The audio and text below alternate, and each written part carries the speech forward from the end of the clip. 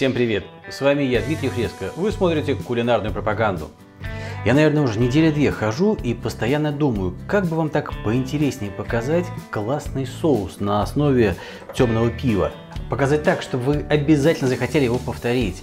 Прикидываю так, эдак, думаю, все равно нужно готовить какое-нибудь мясо, оно уже на его фоне демонстрирует этот соус. И вот вчера в магазине отхватил классные свиные котлеты на косточке. Смотрите, какая красота, со шкуркой, с тоненьким слоем жирка. Ну, думаю, даже если с таким мясом вас соус не заинтересует, значит вас уже ничем не пробить. Итак, для соуса нам понадобится лук, морковь, сельдерей, э, перец, острый и сладкий, лимон, апельсины, винный уксус и темное пиво. Пиво, как видите, специально запаковал в бумагу, чтобы не заниматься рекламой какой-нибудь отдельной марки. Мне в сегодняшнем соусе нравится темное пиво с насыщенным вкусом, с уклоном в сторону сладости. То есть не в сторону горечи, а более сладкое. Вы же выбираете на свой вкус. Итак, поехали. Для начала нарежу овощи кубиком. Довольно мелким. Что касается формы и крупности, важно, чтобы овощи были нарезаны одинаково. Тогда и обжарятся они более-менее одновременно. Соус может подаваться как вместе с вот этой вот овощной составляющей, так и без нее. Поэтому, если не собираетесь его отбрасывать на дуршлаг, нарезайте аккуратно. А я собираюсь овощную составляющую по завершении приготовления соуса а, отделить, отбросить, буду без нее подавать. Ради эффектности подачи. То есть мне хочется получить такой густой, однородный, такой шелковистый соус.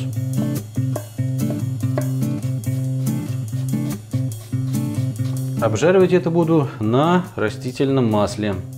У меня оливковое. Так. И теперь овощную смесь.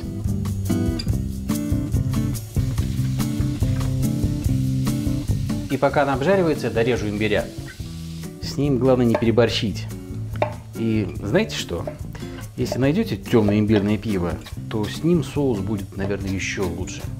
И не забывайте помешивать. Отлично. И имбирь сюда же и опять перемешать. Все, пусть обжаривается, пусть луковые и морковные сахара превращаются в карамель. Кстати, для ускорения процесса добавлю-ка сюда еще сахара. У меня коричневый. Ну, можно использовать и белый. Жарить надо до мягкости. Чем лучше, чем сильнее прожарите, чем лучше закремлизуете овощи, тем ярче будет вкус соуса. Ну, конечно, следите, чтобы ничего не сгорело. Так, что касается гарнира. Я собирался подавать картошку и яблоки. Будет у меня свинья в яблоках. Было бы неплохо, конечно, вообще жареную картошку к этому блюду подать, но, но нет. Я сделаю по-другому. Проколю шкурку в нескольких местах зубочисткой. Вот так. Накрою тарелочкой и отправлю в микроволновку.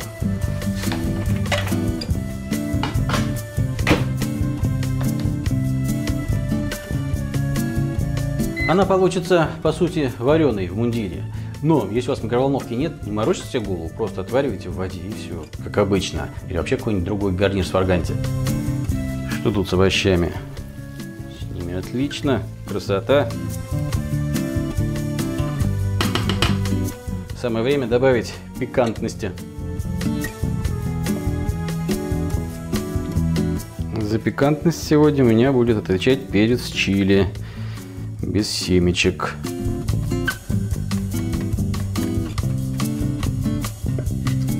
И испанский ньорос. Если у вас ньоросов нет, э, ищите подкопченую паприку. Если подкопченой паприки нет, но берите обычную сладкую. Его тоже порежу небольшими кусочками. И перцы тоже к овощам. Вот так. И сразу же добавлю душистого немного. И перемешать. Сейчас перец немного прогреется, пропитается маслом и можно будет продолжать. Картошка готова. Тарелки при таком способе тоже нагреваются, потому что картошка влагу в виде пара выделяет. Так, пора добавлять пиво. Сюда его. Отлично. Надо дождаться закипания и варить, ну, томить при энергичном кипении. То есть основная цель – выварить все вкусы и ароматы из овощей в пиво, то есть экстрагировать их. Но я могу уже заняться мясом. Сразу немного присолю. И на сковороду. Опять растительное масло. И пусть нагревается.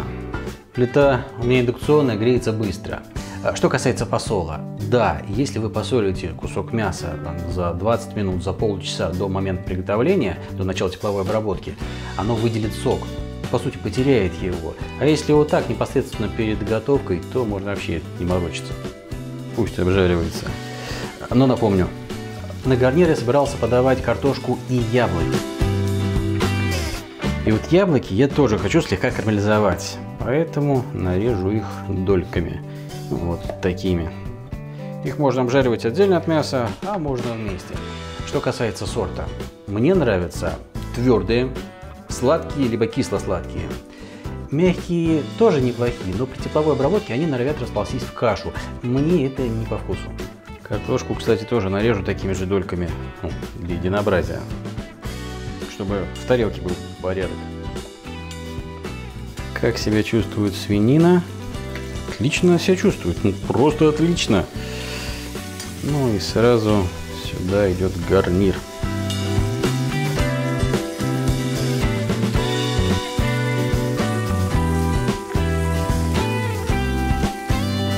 А теперь пора возвращаться к соусу. Во-первых, надо процедить. Если не хотите, можете не заморачиваться и подавать соус вместе с овощами. Но я уже говорил, да? Я же буду без них. Мне надо соус загустить и довести его до вкуса.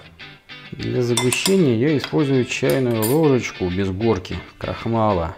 У меня кукурузный. Кстати, наверное, и картофель подойдет. Добавлю сюда апельсинового сока.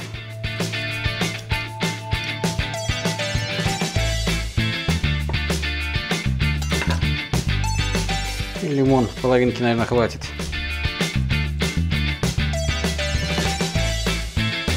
Вустерского соуса, опять же, классная канистрочка, правда? Думаю, что столовой ложки хватит.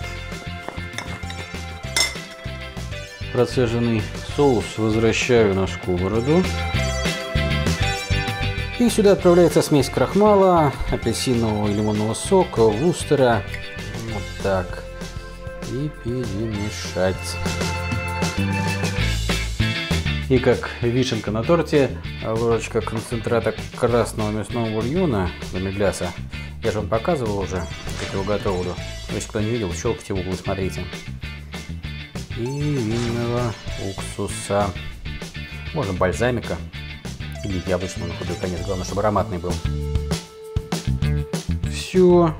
При непрерывном помешивании довожу до желаемой густоты. Выпариваю, крахмал сейчас разойдется даст свою киселеобразность. А вы же пока можете для памяти пройтись по основным этапам готовки.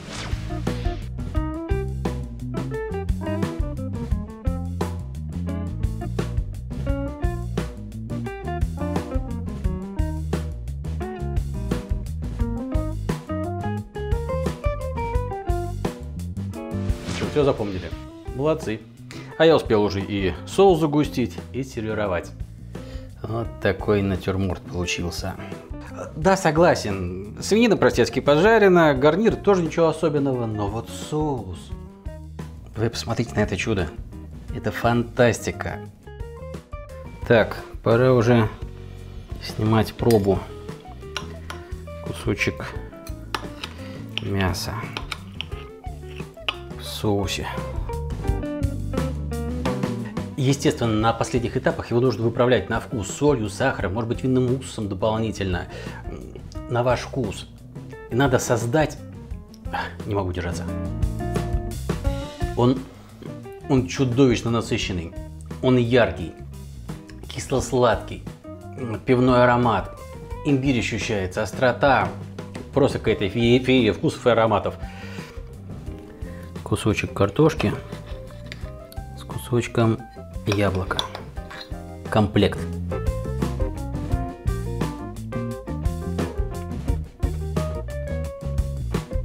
Неправильно. Нужна кусочек свинины и кусочек яблока. Потом кусочек свинины, кусочек картошки. И так чередовать, потому что свинина, ну, она сама по себе достаточно такое пресное, нейтральное мясо. И э, сладость, кисло-сладкость яблока прекрасно его теняет. Тут соус на себе тянет это блюдо полностью просто. Просто фантастика. Обязательно приготовьте его. Не обязательно удалять овощи, как я это сделал. Можно и с овощами подавать. Будет, конечно, не так по-ресторанному, не так эффектно, но вкус от этого хуже не станет точно. Консистенция, да, будет, будет там что пожевать. Здесь он такой гладкий. Ну что, на этом я с вами прощаюсь. Отдельно просто обязан сказать огромное спасибо Самуре за предоставленные ножи и за спонсорскую помощь, благодаря которой я могу снимать так регулярно ролики и надеюсь радовать вас. Спасибо вам за ваши лайки, дизлайки, за активность на канале. Это помогает каналу расти и привлекать рекламодателей. Спасибо за компанию. Всем пока.